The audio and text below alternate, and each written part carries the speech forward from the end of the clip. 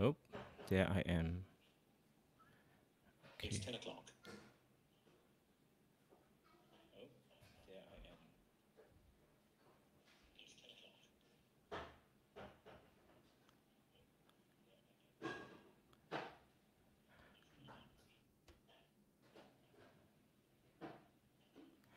Hi, everybody.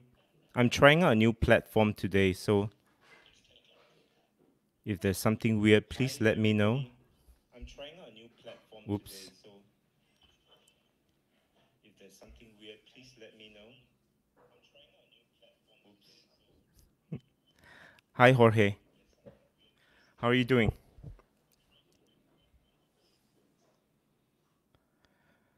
Great.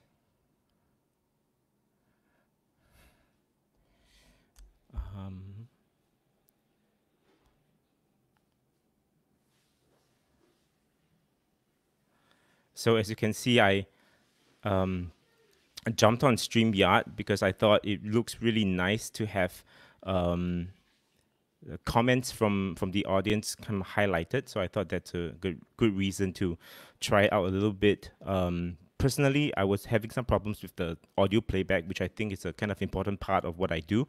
Uh, so I'm I'm I'm curious to see how this this works. Hi, Emily. Thanks for joining in. So um, I guess let's jump into it. Uh, I'm obviously a little bit more I'm obviously a little bit more nervous today because it's just me talking and it's kind of weird because usually speaking to an audience is so much uh, speaking to a um, the guest is so much easier. I ask them questions and I just sit back and enjoy. But today um, I'm kind of on my own. Uh, hi Jeff, good to hear from you. Wow, it's been a while. So today I'm on my own, um, and the reason why I thought it would be meaningful for me uh, to do this, actually meaningful for the audience to do this, to share my journey from kind of um, uh, how I got into music and eventually kind of dropping out of music class in high school to eventually, you know, going to a, a wonderful music school and um, having the immense uh, pleasure working with some of the greatest musicians in the world. Um, I thought this kind of this journey would be a good maybe there's some good stories that people will be able to take something out from. Um, and perhaps more importantly, I have to say when I was growing up, I didn't really have such models that I look up to um, in in the vicinity. So you know, it was really kind of I'm on my own and trying to figure out what would be uh, the way to go. So I thought perhaps sharing my story might give um, some of the audience some uh, perhaps some inspiration or perhaps something to to relate to and saying, oh, that was me, uh, or that is what I've been feeling, and you know, hopefully, uh, it could inspire you to to to go further. So great. Um, one other reason why I'm decided to do this episode is because my good friend Emily, um, there she is. uh, she sent me a couple of questions, uh, interview questions um, for the Composer Society of Singapore, um, they wanted to feature me, and so she asked me a couple of questions, and I thought, wow, why don't I um, answer these questions in an episode? So again, it's kind of a leap of faith. I decided to do it without my my. I decided to do it with my heart instead of my brain, and so now I'm kind of freaking out, which is a good thing. Um, I guess like the title of this episode, um, the subtitle of this episode uh, the best way to learn is to do. Just do it first. Um, it's going to be not great, but we learn from there. Oh, hello from Mongolia. That's really fantastic. Um, so I just wanted to highlight a couple of Emily's question, and then we can just start from there. So the first question she asked me is, uh, how did I get into music? And um, I didn't really grow up in a musical household. And my actually my first musical memory came uh, when I was in primary school or elementary school. Um, there was an old piano at the at the edges of the canteen. And um, although I never really learned to play the piano when I was growing up, nor did I have a piano uh, at my home, I always loved to hear the other kids playing on it um, and and you know kind of drawing a crowd and making music, and I always secretly wish I could make some beautiful sounds on the piano as well. But we didn't have a piano at home, and so eventually there was a recruitment drive um, to join the the primary school brass band. So I signed up for that, and you know I got handed a trombone and kind of was hooked onto music for life. So um, what? Uh, I was kind of a band geek in my you know uh, school days and always going to concerts and hanging out with the band people. And that's kind of that's kind of where most of my most of the uh, friends in the music world you know that's how we got started. Um, and eventually when I entered university, uh, my first major was actually not music. I decided to major in history because um, it didn't uh, it didn't occur to me that I wanted to do music um, professionally or for the rest of my life. So I thought, you know what, I'm just going to to to take um, to do kind of a liberal liberal arts uh, kind of true taking as many classes as I can, and then eventually deciding on something that I liked. And I obviously loved uh, history the most. Um, but after doing that for one year, which I was actually very, very happy, um, then there was a uh, spot open at the conservatory, and they were uh, looking for a trombonist. So I decided to sign up for the audition. And um, by some heavenly intervention, I, I got into the um, I got into the school which was fantastic. Uh, at that point, I was playing trombone for quite some time already, um, taking on some gigs here and there. And I would not really consider myself as a very talented trombone player. Uh, I had, you know, enough chops to to get by, but I was always a little bit frustrated um, at certain things. So going to music school and really studying the trombone was kind of a leap of faith. Uh, but I'm really glad I did it. Oh, hi, Cheryl and um, eventually what got me into uh, conducting um, was a little bit later. When I was I remembered very very clearly when I was uh, a trombone undergraduate I told myself I'm just going to do trombone because I really enjoy this view from the back row. You know the trombone section usually sits at the back of the orchestra and uh, you know kind of minding our own business and doing our own stuff and uh, and I remember one of my teachers um, saying the trombone section is kind of like the artillery in the in the orchestra because when we arrive, you know, it makes a point. It's very very prominent, uh, but most of the time you don't really see much action. Oh, hi Leslie. Wow, I think history is really fun for me because I really enjoyed studying about kind of the region, which you know it, it kind of connects back to what I'll talk about later. So uh, eventually, I um, the conducting bug never really bit me until much later in my undergraduate studies. Actually, I would say probably in my third and fourth year that I said, decided to do um, the uh, conducting class because it was a requirement. And then I started to realize, well, I really enjoy doing this. At the same time, I was also doing um, quite a bit of chamber music, which I credit, you know, a lot of my learnings um, and working with people and problem solving too. Because working with, uh, you know, playing in the brass quintet, for example, you're working with four very, very talented uh, colleagues and you're really trying to, to produce a great result together. Um, and it's not kind of a top down um, perspective, a top top down instructions. No, but we are trying. How can we make this better? And so it's kind of a cooperative and kind of a um, a, a very respectful mindset that I felt really got me off to a good start when I started conducting because I, I didn't feel like, you know, I was standing in front and kind of ordering people to do stuff, but rather we were trying to make something together and um, and it becomes a conversation and it becomes something that is more um, what's the word? Collaborative or a kind of a team effort um, to, to, to produce a musical result. So uh, I started conducting, in all honesty, when I started to do my conducting auditions, when I applied for my master conducting auditions, and it was um, it was really kind of crazy because I never really had much conducting experience before, besides putting up a group to make conducting tapes uh, to to send for auditions. So when I started I remember my first conducting audition was at Cincinnati, uh, um, the University of Cincinnati College Conservatory of Music, long name.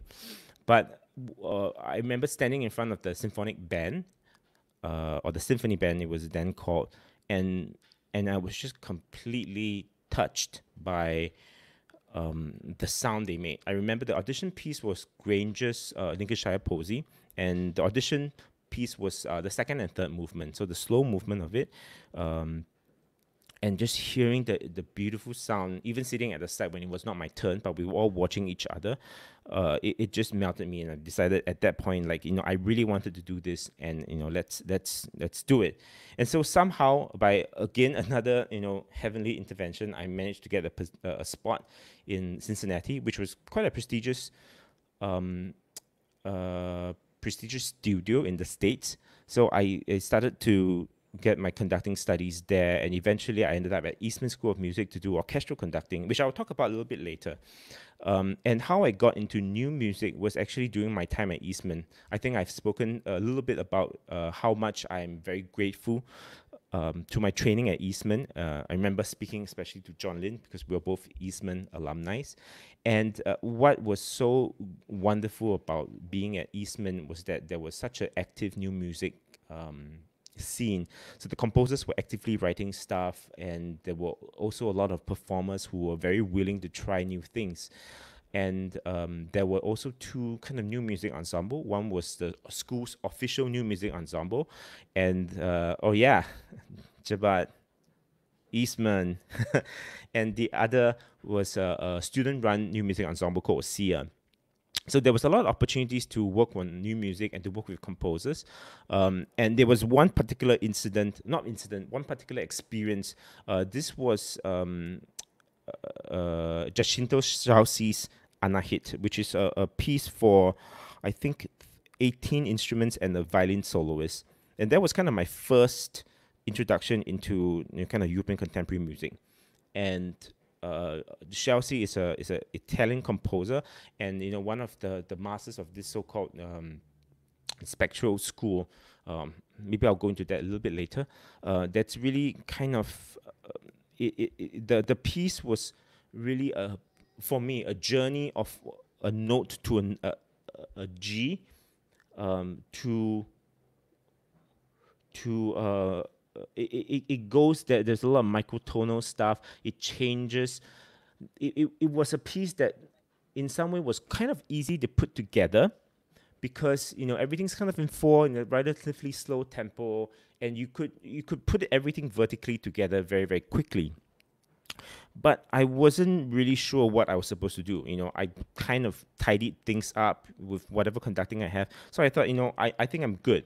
And then at that point, there was another teacher, a conducting teacher. Uh, his name was Brad Lubman, and I and he is um, he does the new music ensemble there, and he has a big career.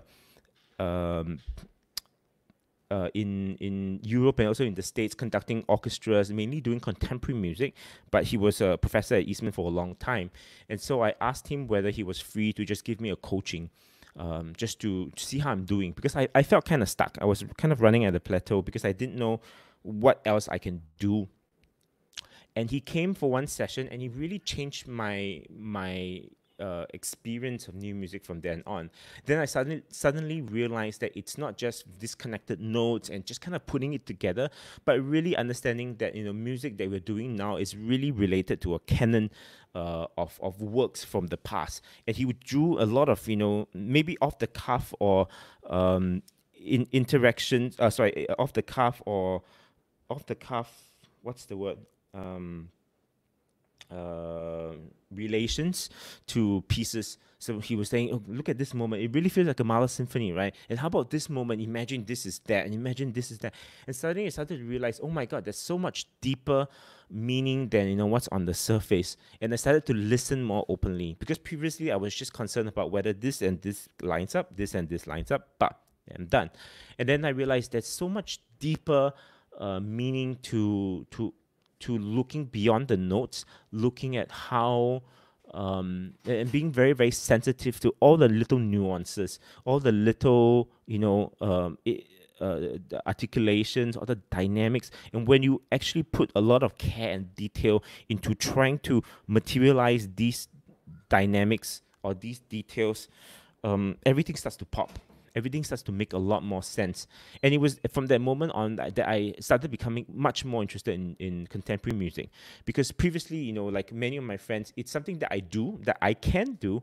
Uh, doesn't mean I know how to do, doesn't mean I'm really good at it. But after that experience, it really changed my mind and it, it, it uh, forced me to look deeper and trying to to find something that connects to me emotionally. I think that was also the other thing about the Scelsi. Um, when you hear it for the first time, you you you you are amazed by the incredible sounds and the incredible textures.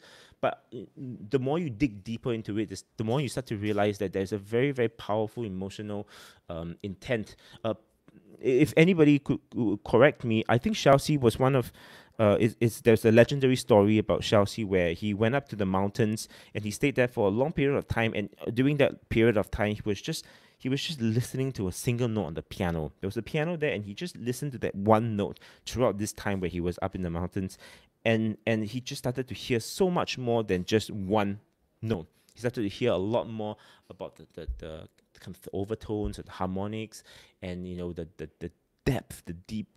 Um, uh, it's so so many dimensions from just one note, and I thought that was really uh, interesting. So, how did I get into music? So yeah, wow. uh, eventually, um, I I started to work professionally. I got my first position working in Poland with the radio orchestra uh, at the end. Very very luckily at the end of my DMA studies at Eastman, and uh, ever since um, I started working with a lot of you know wonderful musicians, uh, and one particular one that I, I always like to mention is Peter Eötvös because he really changed my idea about what conducting is and and how um, and how I look at compositions. So right now, uh, for the audience that um, I haven't been catching up with in a long time, uh, I'm currently working in the Yong Conservatory of Music, which is the uh, the school that I went to when I was an undergrad, and uh, working with the new music ensemble and and it has been a, a, really fun journey so far. Oh, hi Cherry. Yeah, absolutely. Uh, I think Brad Lubman. Anybody who went to Eastman would would say. I mean, Brad Lubman is really quite um, a force of nature to have worked with, especially with contemporary music. So, uh, next question that Emily asked me was, what attracts me to new music as a conductor? So, I guess um, the first and foremost reason why new music is so interesting after that experience is because I'm really in awe of composers. I look at a page and and um, especially living composers, and I'm just floored by the the composer's ability to pick sound out of thin air and to organize them in new and meaningful ways and then eventually setting them into paper. So that whole process, the whole creative process is endlessly fascinating to me. I've taken composition lessons and, um, and I remember composing a piece that was really just derivative of uh, Takemitsu's um, music. I took his harmonic palette and I try and play around with it and ended up sounding like kind of a nice piece, but really wasn't saying anything. So I didn't want to go deeper into that. But the, the, the this ability uh, was really super fascinating to me. And also on top of that, I mean the the widely uh, diverse styles of contemporary music today uh, if you've been catching, you know, the series for the past the ten episodes, you can see that how contemporary music really varies from each composer to another composer, and different styles and different uh, place where they work. You know, that all affects their their music, and so this diversity is so refreshing because you you will never get sick of doing it. Every piece offers a new challenge. Every piece um, has something that you, you, you need to figure out. So that aspect of it being in a puzzle uh, is, is super interesting to me. Um, so on top of that, I think the the the expanded means of expression is uh, very intriguing because you know most of the the for myself, um, I guess starting from let's say pop music, pop music has um, recognizable tunes and, and all that thing. And it, for me, the, the main message of most, maybe 80% of pop music is really about love It's really about you know uh, heartbreak, and it, that's something that we can all relate to, which is fantastic. But uh, it's a little bit limited in in the scope. Uh, oh, hi Tian Hui. Greetings from Massachusetts. It's limited in the scope, and for me, classical music, what what it expanded that emotion, so you get to feel a, a whole wide range from from intense, you know, joy, aesthetic happiness, kind of Gloria, uh, Gloria esque brilliance to really deep and dark um, and troubling emotions um, or tranquility. I mean, th- that's something that that that classical music really brings to me the expanded vocabulary of emotions that we experience as, as human beings. Um, and what contemporary music furthers this expression is that there are more um, there are more means and more atmosphere and that thing, things that are outside of this traditional Western canon that finally there's a voice to be heard. So to me, that's also super interesting.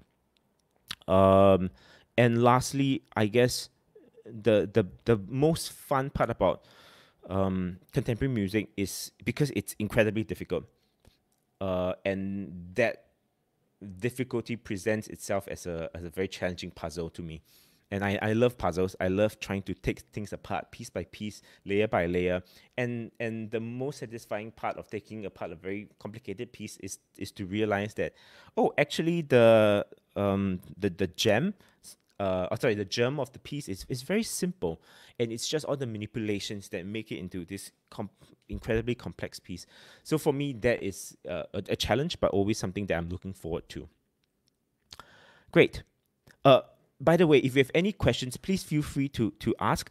Um, there's a, a question asking about what's my favorite symphony and why. I will get to that later. That's one of the questions that Emily asked that I would love to to talk about. So um, how does your trombone playing and knowledge of wind and orchestral conducting help you in deciphering new music? So, as I mentioned, I think the most valuable part of my trombone playing was really uh, chamber music. That that um, experience of working with with uh, my peers and um, and in, in many ways I was kind of the most vocal person in the group also, you know, always suggesting, can we do this this way? Can we do it that way? But that really got my feet wet about how to how to tackle a problem. Oh, this is a problem that we have. How can we try to practice it in a way that we can solve that problem? Um, I guess my orchestral experience also uh, contributes to the fact that I was spending a lot of time looking at orchestral scores because, um, like I say, we didn't have a lot of notes to play. So there's a lot of time sitting in the rehearsal and just you know uh, figuring out you know what is the conductor saying? Is he is he making sense? Or oh I really like what he did there. And so I was kind of taking notes and and following along the full score uh, because I was sitting around for the most part. So that kind of contributed to uh, a, a repertoire of, of skills that I've accumulated over the years. So as I mentioned uh, earlier, I, I did wind band conducting when I was at Cincinnati and uh, it was a, a very interesting experience because it taught me a lot about organization. This point, this was my first conducting degree. I had no conducting experience whatsoever before. So I really learned a lot from my peers when I was at CCM. Uh, and many of them who are, you know, high school, who have worked in high school as, as band teachers. Um, so they have a very, very clear idea on how to organize, you know, everything, how to organize the rehearsal down to the very minute, 10, 15 to uh, to 1035 we will do this measure to this measure because we want to uh, uh, achieve this objective and that objective. And to me that's incredible. That amount of planning uh, oh, in some ways uh, a role as a teacher. So that's something that i really learned a lot about at cincinnati in the wind conducting part and then um, and the, the running joke we had in the wind department, so to speak, is that we always make fun of the orchestral people because they were always less organized. They were always kind of running around, um, and uh, also maybe they were younger. The, the the wind folks were a little bit older, and so when I eventually started studying orchestral conducting, uh, I started to understand. Yeah, I think orchestral conducting might be more. Um, more artistic. I don't want to use that in a bad way, um, but you know, pe- people are more concerned about expression concerned about what they want to say, concerned about uh, the um, like, like what what they felt the music was about. Whereas previously it was it was a very not logistical, but it was a much more organized, much more objective view of how to how to make music. Aha. Uh, and uh, so when I went to orchestra, I, I started to think more as an artist, you know, kind of living in the now, kind of more big picture and um, in, in some ways, I, I would say conducting an orchestra and conducting wind band is slightly different because in a in an orchestra, there's a lot more about trusting the musicians to find themselves and to enable them to give them the space to to make music. Whereas in the wind band, you kind of have to to drive the engine a little bit. It's a very very subtle difference. Uh, I I it's it's hard for me to say, but when you stand in front of the ensemble, you understand uh, what these differences are. At least to me. So how does all that relate to new music? Because eventually you you have to have various aspects. You have to combine all these skills together um, understanding how to work with people understanding um, how you need to plan your rehearsals in a way so that it doesn't waste anybody's time. But at the same time it's also such a difficult piece. So you have to um, to organize how you peel the different layers. Um, especially now in my current uh, job working mostly with students, uh, many of them come with you know the, the kind of deers and headlights. Uh, like how am I supposed to to work on this rhythm that I cannot even sing? And so it, it, then you have to understand how can I simplify this problem for them? How can I teach them to teach themselves? And how can I reinforce maybe some of the big concepts that were, were uh, taught by other teachers? Um, then on top of that, it comes back to my experience at Eastman. Then how do I inspire and invoke all these images that's not apparent from the ink? The ink is usually kind of busy or usually kind of bizarre for most of the people, so they get stuck at the first layer. We never really get into the music because they are so uh, thrown off by things that that they they were not familiar with.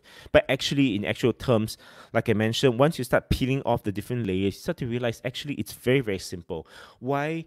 For example, why did the the violas and the cellos? Why do they have different rhythms? Why is one a septuplet and one a, a, a sextuplet? For example, a, a, a, uh, yeah, sextuplet. And um, previously, I always thought, oh, then it's it's messy. It, it, it cannot be together. But that's the whole point of it the whole point of the composer writing this gesture is that it's supposed to be messy. The composer writing a gesture where there is a lot of, uh, where it's figurations, you know, it, it's a texture. You want the texture to go, and uh, does it have to be super accurate? Not really, but it needs to have a feel. It needs to have a certain, you know, a certain texture, and then there are certain parts where you have to be together. That the, the rhythmic aspects need to be all locked in.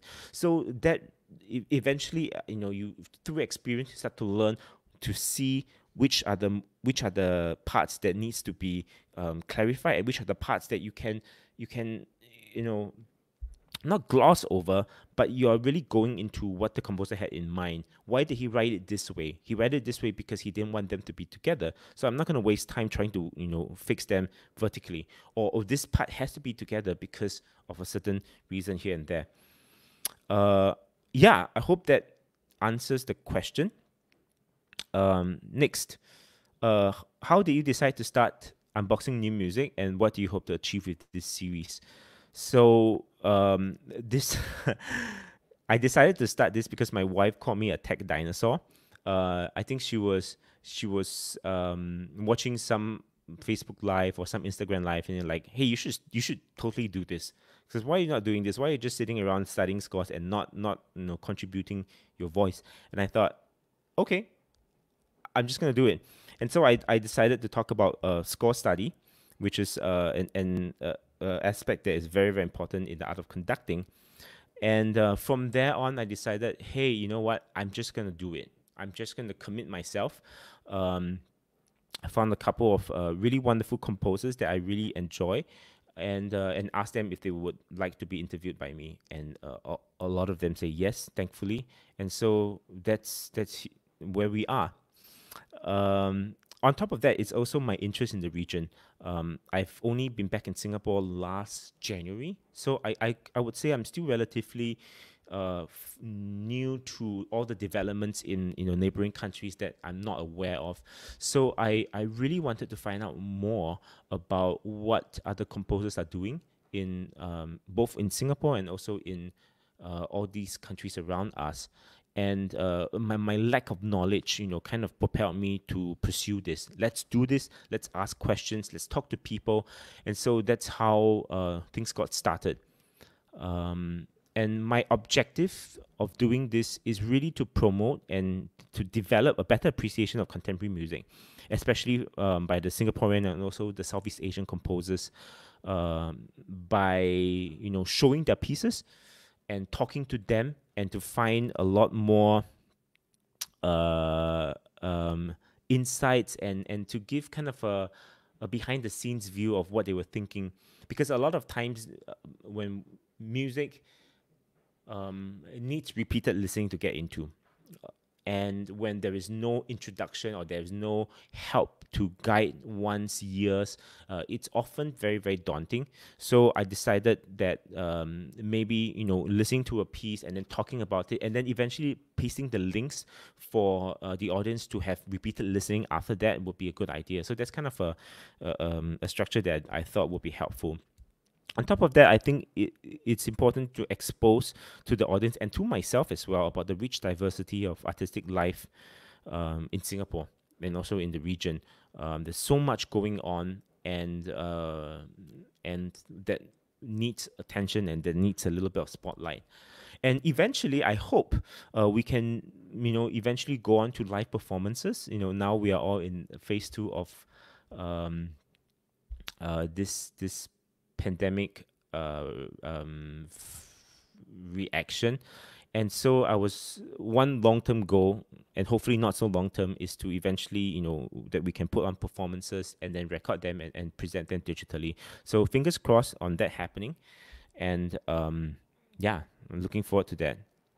Yeah, uh, Emily saying that yes, the uh, three days before the first episode, yeah, I decided why not? Let's just do it uh, again, going back to the point, uh, the, the best way to learn how to do it is just to do it.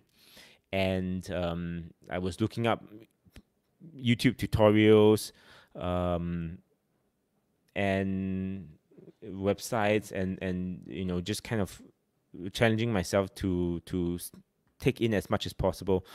And um, yeah. okay. Now, what are a few pieces on my bucket conducting list. Ooh, that's a lot. That's a lot, a lot, a lot of pieces. Uh, a lot of pieces I haven't done before, and I would die to do it. Uh, I guess um, not a plug for myself, but I, am doing a concert in um, November in Hungary, and that's kind of the final concert of this uh, mentoring program that I'm on. Uh, I'm, I'm very looking forward to that concert because it features two of my favorite pieces uh, for orchestra. Uh, one is the Lutosławski Concerto for Orchestra, and uh, the other is Britten's uh, Four Sea Interlude. And uh, the Lutosławski is very special piece to me because it was a piece that I really learned. I learned for my audition when I got into the orchestra in Poland, and um, and then the orchestra performed it a couple of times when I was there. And this is a piece that you know, this is a signature piece of the orchestra um, Lutosławski conducted this, made a recording with them, and you know the players know the music at the back of their hands. It's a super difficult piece. Um, you know they had the bowings from you know many years ago with with some of the greatest um, musicians, and so that's a piece that you know I've I've really grown to to love.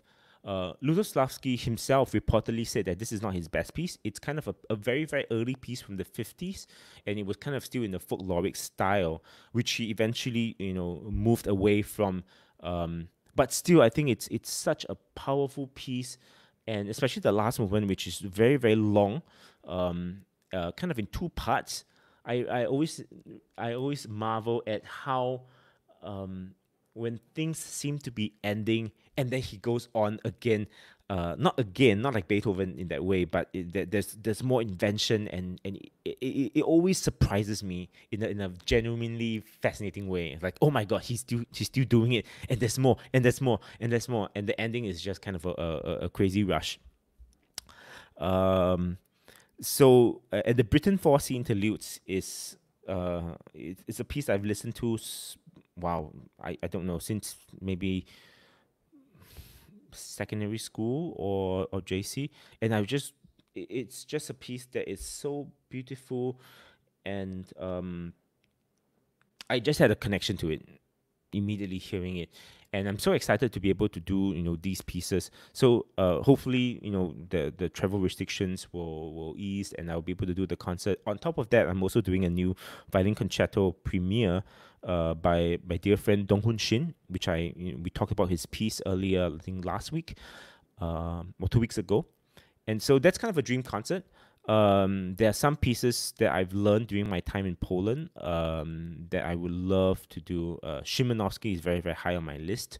Uh, Szymanowski is maybe to many people, you know, really only known for the violin concertos, which I think are incredible and ama- amazing pieces. But his symphonies and also kind of his theater stage works, his opera, um, uh, King Roger. I mean, it's it's to me Szymanowski. Uh, I once described it as a, um, it's like a, a, a cross between Ravel and Strauss, but sexier. It's like Scriabin, but much more sensual and not so, you know, in your face. So Szymanowski, um, the textures are just beautiful, and and the funny thing is sometimes you might not be able to to exactly sing the melody from a Szymanowski piece, but the feeling of of just like even talking about it, I can feel my my my hair standing. There's this there's this sense of it's as if the, the sound is like a very beautiful uh, satin view, kind of just rubbing you, rubbing your hand, and it's just this uh, incredible but still so detailed orchestrator. Um, I would love to do Berio Sinfonia. Um, again, one of those pieces that I've downloaded many years ago on Napster and just hooked to it till till now. Um, you know, Bruckner, Mahler. I mean, I, I, these are the the repertoire that I really love. Um, as well as Mozart. Um, I'd love to do a Mozart opera. It's a big shame. Um, I was supposed to do two Mozart operas this this summer, and obviously it was cancelled because of the the COVID nineteen situation. But yeah, Mozart is. Um, I have a story, a, a very very quick story um, about Mozart, and uh, yeah, I'm just gonna tell it. Uh, was I remember I was assisting in uh, in the in Czech Republic, Czech Republic, and it was in Brno, um, the city in the south, uh, beautiful city and really good orchestra. I was uh, assisting my my previous boss, um, and he was doing a concert there of Mozart and uh, um, Hartmann and a couple of other pieces and I remembered it was a day where uh, a certain president was elected in a very prominent country. Uh, I think 2017, and uh, and so I remember arriving for rehearsal a little bit earlier, and then I saw my my uh, my then boss, and we looked at each other because we knew that the election is over. Um, a certain someone is going to be president of the prominent country, and we just look at each other and we we're like, "Wow, this is really happening right now. Uh, very grim, very very you know dark. It was a kind of a grayish day as well. And then we went into the rehearsal, and uh, he was conducting the Hafner Symphony by um, by Mozart, and the that one hour of rehearsal was just joyous, was just beautiful. Uh, it started with the second movement I remember, and it just put a smile to my face, and I just forgot about all all that you know dark thoughts. Uh, and to me, that's so special. That's so special about music. That's so powerful about music. It doesn't matter if it's contemporary music. It doesn't matter if it's Mozart or whatever. But you know, it, it really has the ability to transport you to a different world. And in that one hour, I just, um, I genuinely didn't didn't care about what was happening. Of course, we eventually have to go back to reality, but uh, yeah, the, the the the every music has this ability to mesmerize if it's done well. I guess. Yeah. Okay. Uh oh thank thank you for um Dr. Goh for talking about his piano pieces. Is this uh that you're talking about? Um moving on. what advice would you give young conductors who might be interested in new music? Uh, this is actually kind of fun because um, I guess most young conductors already have to do new music, whether they like it or not. Um, it's just kind of something that it got uh, either from a professional world that you know certain conductors don't want to learn new pieces, so they're like, oh, you know, you do this, uh, or um, you know, friends, composer friends, and you know their interests. Uh, they want to put something together, and they want the conductor to jump in. So um, you know, most young conductors already have to do it. Um, so I guess the advice I would have is um, really try to find the intention behind it. Really try to find what the composer is trying to say and uh, obviously, our role, as, especially as a young conductor, you have to organize things. You have to make things uh, work because that's your responsibility. But um, the the sooner you can get into the music, the sooner you can you can go beyond the notes, and really try to find an expression or try to find uh, the atmosphere. Um, and to me, it's so important that that music connects emotionally. Um, that's that is even the most intellectual music. Again, Lutosławski, I you know when you break down his music, you start to realize you know the, the methods he used are so simple. It's so um, ingenious, but for me, he's like a, a perfect um, balance between intellectualism, but still a lot of emotionalism in his music. And so I'm, I'm I always try to find the emotional aspect of the music. I always try because that to me um, uh, convinces the audience and uh, and I definitely felt that when I was doing the Scelsi, um, before and after you know this coaching with Brett. and um, and that's something that I'm always looking out for um, in in my music making. I'm always looking for the special moment. Um, you know, as a as oh, I'm thinking should I should I go into into this um, as a as an Asian conductor uh, many times there's this stereotype that is, is kind of running that you know you have very good technique but you're you're not uh you don't have a lot of musical things to say. And that really annoys me because I've been I've been I've heard that you know being said to me many times many competitions. And it's something that I also heard from uh fellow other fellow Asian conductors that that's something that like people like to say um which I think is completely not true. There are some but I I would absolutely um say that that's kind of rubbish.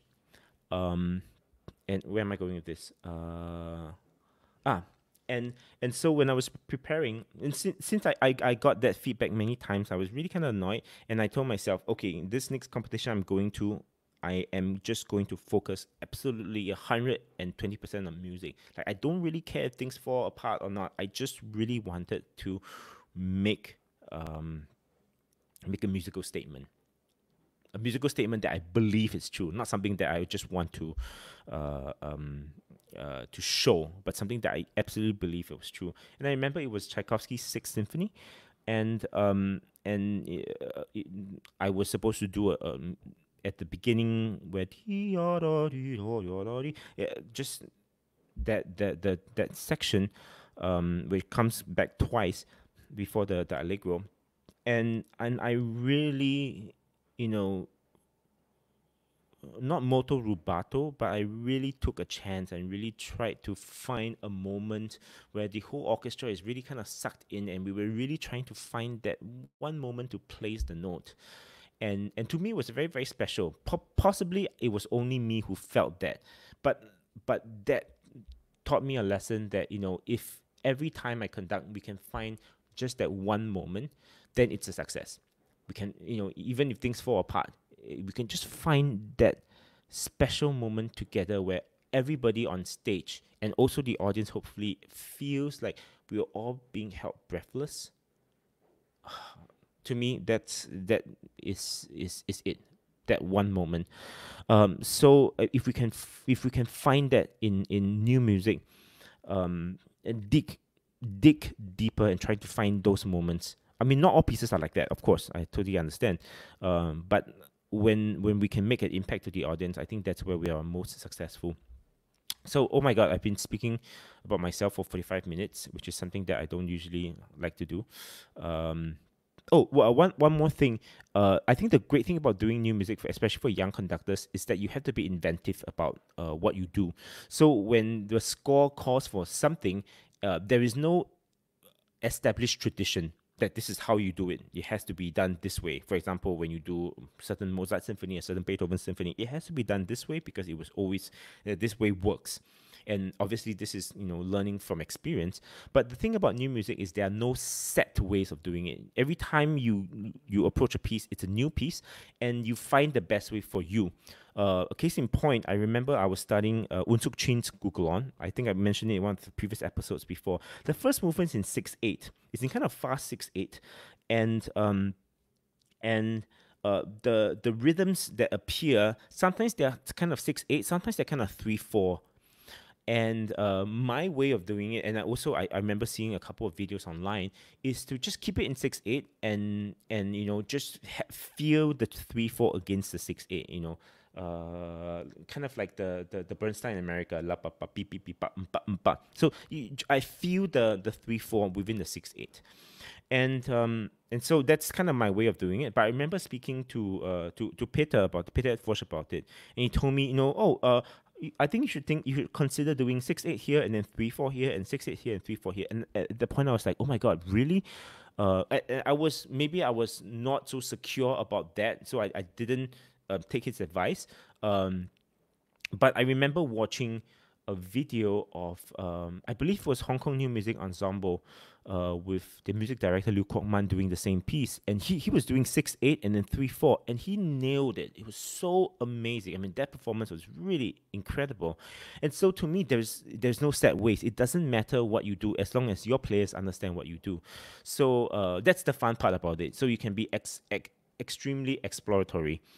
Um, and finding um, uh, ways that you can help the players not get in the way, but uh, but be be inventive about it. So um, I thought with that, I wanted to you know just have a quick reflection about kind of you know the the current situation.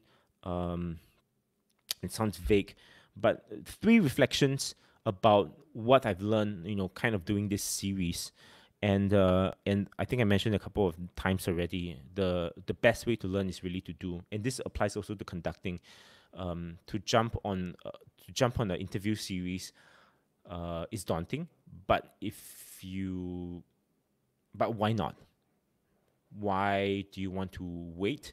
Um, for me, it was about the perfectionism in me, the perfectionist in me I'm always unhappy about a lot of things. I, I hate to see myself talk. I hate to see my hate to listen to myself talk.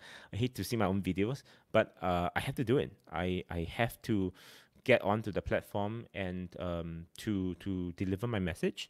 And so same thing with conducting as well. The best way to learn is to do. A lot of people ask, you know, how can I blah blah blah blah blah blah. Actually, the best way is to you know form a little group, uh, invite some friends, buy them pizza, and just conduct, and then learn from them. So that's what I did with with this interview series. Uh, I made a lot of mistakes, but that's fine. That's that's okay. That's part of learning. I remember one of my teachers was saying, um, uh, "You have to suck first before you become good. You have to be really bad at what you do before you become good." So that's you know that gives you perspective. If things are not great, it's okay. It's just a process. You can just kind of uh, fight through it. Uh, secondly, and this is something I mentioned about in the in the Zaobao uh, article, uh, which uh, Dedrick and I we were interviewed, um, is that I mentioned there's something about the democratization of, of media and of learning, and that's very very exciting in the world today because literally anything you want to learn can be found on YouTube, and um, you want to do um, you want to learn about you know photography you want to learn about even hosting a podcast or all that. And there's so many great advice there. Of course it takes time for you to you know to to take that information in and eventually be a master of that but anybody can do anything now and uh, everybody is a creator and this is really wonderful. I mean, I've seen um, uh, uh, uh, Alan Kartik has a, a, great interview series that he does. Uh, also, uh, Yao Tong, um, uh, a, a, tuba player in, in, Singapore, and he has his own. He starts. He just started his YouTube channel, uh, giving advice on you know um, on, on various topics, and it's really wonderful, uh, and and that's exciting because it adds to the to the um, to the vibrancy of the scene. The more the more um, these kind of outlets we have, the better it is because then the younger generation will have more things to choose from, more things to learn from.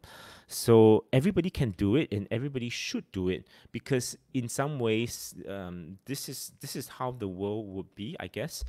Um, you know, kind of where do we go from here in the post-COVID world? I I've always been very uh, hesitant about talking about current issues in in this series because I, I feel that this is a series um, where it's kind of a safe space. Where we talk about music we just enjoy listening to stuff and uh, and I don't feel that it's in my place to comment on what the the the world um, you know things yeah movements or um, because we all have our own opinions and I don't want to impose my opinions on anybody uh, but the more I do, and this kind of ties into uh, the the new series of uh, the new season of unboxing new music, which I'm very excited to talk about in a bit.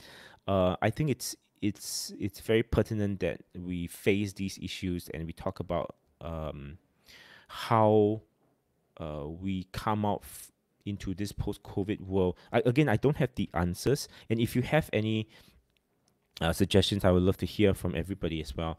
Um, but the you know looking at so many orchestras, especially in the United States, um, having furlough or in, in some ways even canceling entire seasons, uh, it was very very disheartening.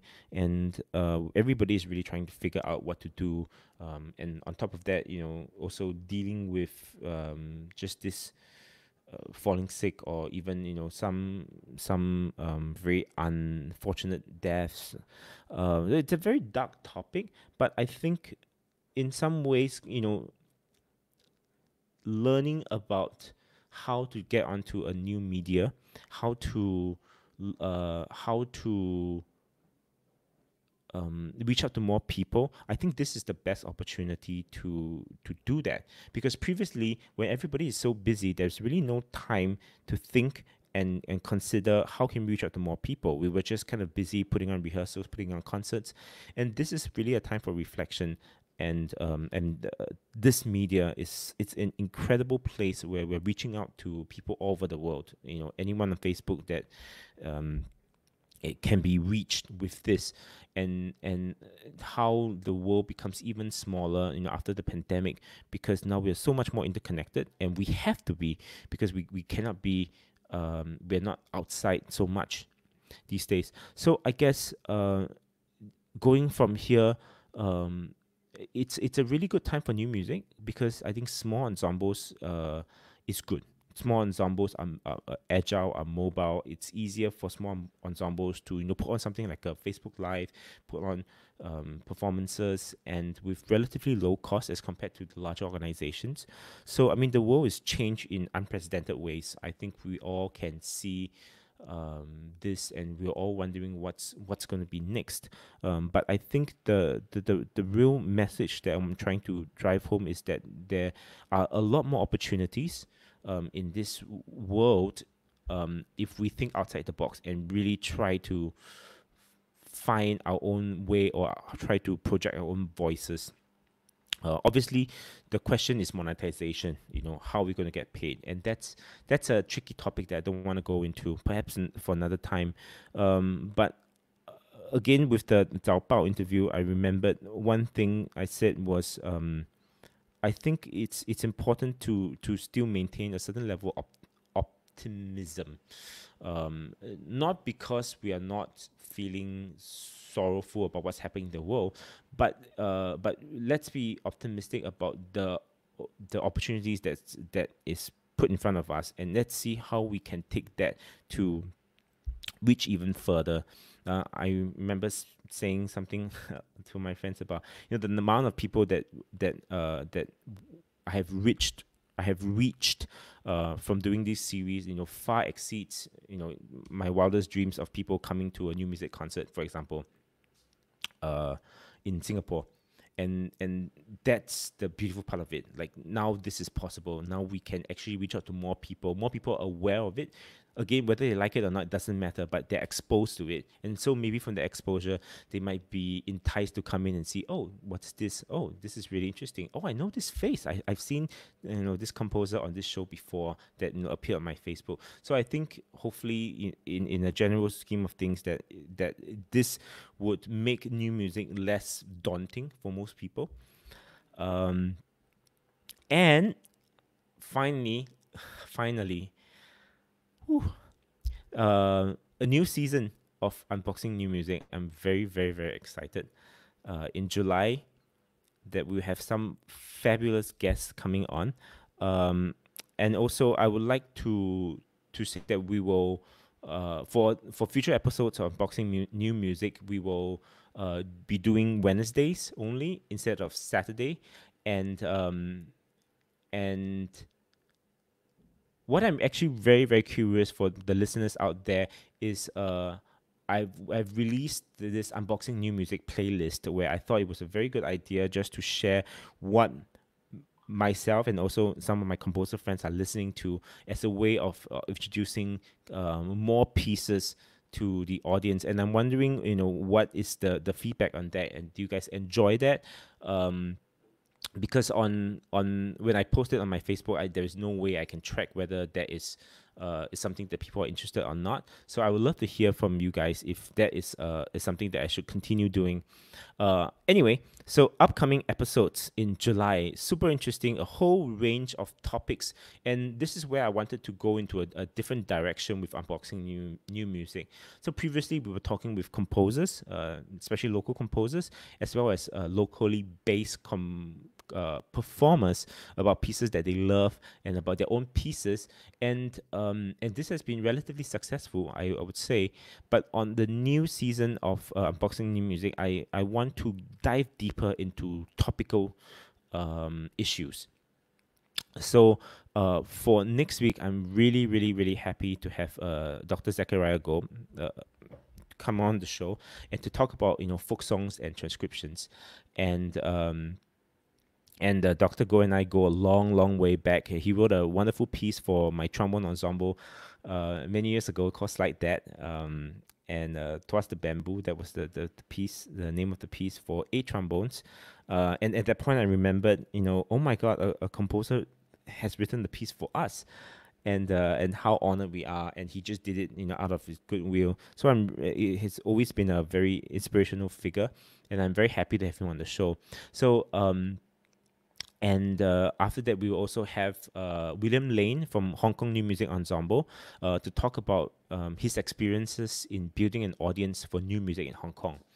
Uh, because Hong Kong and Singapore share many many similarities, and so I am very curious to find. I mean, he has he runs a excellent program um, there, uh, um, both in terms of education, reaching out, and you know, really presenting some fabulous pieces. So I'm really excited to speak to him um, and uh, also my dear friend Max Riefer, who I work with at uh, Yong Siew uh, sometimes he coaches the percussion, the percussionist there, and he has a uh, a really good overview of kind of the new music scene in Asia. He's based in Malaysia, and uh, he teaches at the university UITM over there.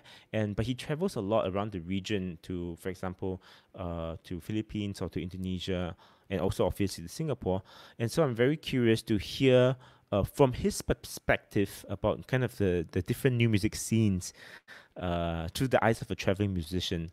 So that's also um, in July. And lastly, uh, um, video games, uh, music for video games. Uh, and I'm very, very, very grateful to uh, invite Lee Xiao An um, I've I've heard about him from from Emily, and uh, she mentioned I should really check him out because you know, video games. I mean, this is completely new, at least for me, um, a, a new kind of exploding genre in the world. I mean, e gaming is huge.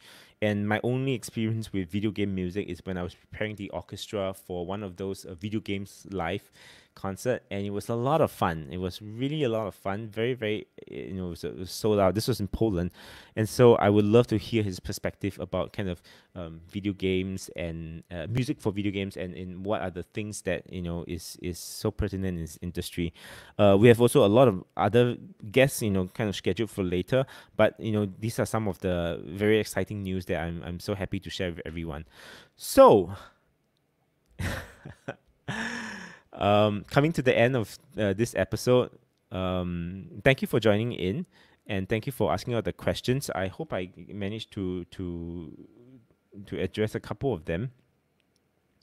Uh, oh, I, I missed out this one. Kenneth was asking was asking, uh, what do you think you can do as a conductor to inspire more people to perform and to write? I think doing this show is one of the the ways to do this. Um, to um, to introduce people within Singapore to our own Singaporean composers, or introducing our Singaporean composers to the world from you know whatever people tuning in, um, and so this is really exciting.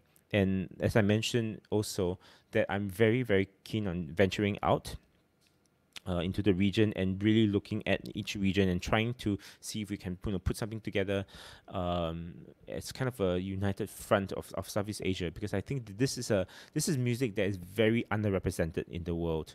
Um, when we talk about, for example, contemporary music in Asia, everybody you know easily thinks of oh in Japan and Korea, and then when you kind of probe uh, deeper, of China as well, you know big big countries with a huge population and you know wonderful uh, composers, but when you probe deeper, you start to realize that's that's about it. That's that's all there is. And how about the Southeast Asian region? My gosh, this is such a fertile ground for you know so much creativity. Um, you know, isn't it mind-boggling that you know someone like De- Debussy was was completely blown away by gamelan music, you know, hundred years ago, and decided to write pieces that are inspired by that. So you know we have a lot of interesting stuff in this region that we we should be very very proud of, and that's something that for me I want to learn more about, and which is why I'm doing this series. So um, yeah, great. I guess that's that's the end. Thank you all for joining in. Um, I'm really excited for the new season. I will put out a poster very soon. Uh, in the meantime, I would love to hear about you know if you guys have any feedback or any questions. Um, and uh, yeah, hope to see you guys next week. Thanks. Bye.